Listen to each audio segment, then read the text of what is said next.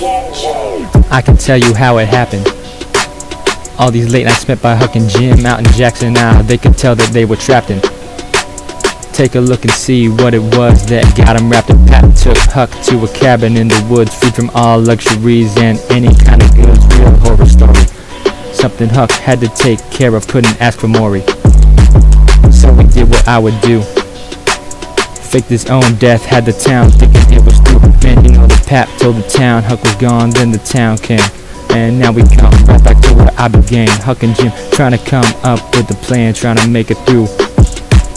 Maybe Huck would have prayed if he had seen it were true.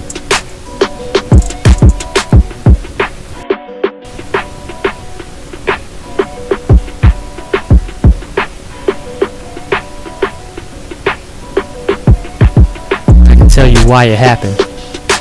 Just take a look at the Granger Grangerfords that we see in the chapter. They would go to church preaching love, social benefactors, but you could tell that they were just actors.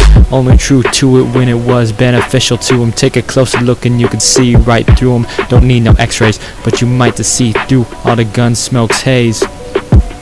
Supposed to let God be the shepherd, but they argue with the Shepherdsons. Don't care what they doing is clearly a sin. So now we see how it begins. The hypocrisy of man. Love your brother as yourself, but we sacrifice the truth for a little bit of wealth.